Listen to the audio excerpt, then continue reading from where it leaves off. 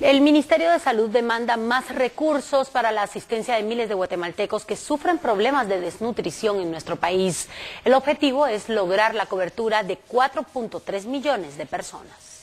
El ministro de Salud Pública, junto con el presidente de la República y la vicepresidenta, anunciaron el fortalecimiento del primer nivel de atención para la universalización de la salud y el cumplimiento del Pacto Hambre Cero, con el que buscan que la red de salud se amplíe a 4.3 millones de personas.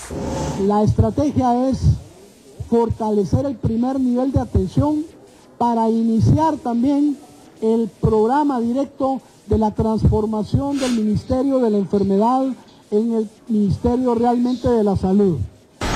El programa tiene como prioridad los municipios que registran altos índices de desnutrición. Nosotros en el Pacto Hambre Cero tenemos priorizados 166 municipios, pero ustedes ya vieron también que tenemos el hambre estacional, que son 63 municipios adicionales.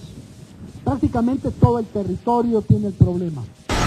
Este viernes el ministro de Salud se reunirá con Pavel Centeno, ministro de Finanzas, para plantearle formalmente el proyecto y la necesidad de que en el plan de presupuesto se asignen más recursos a la cartera de salud.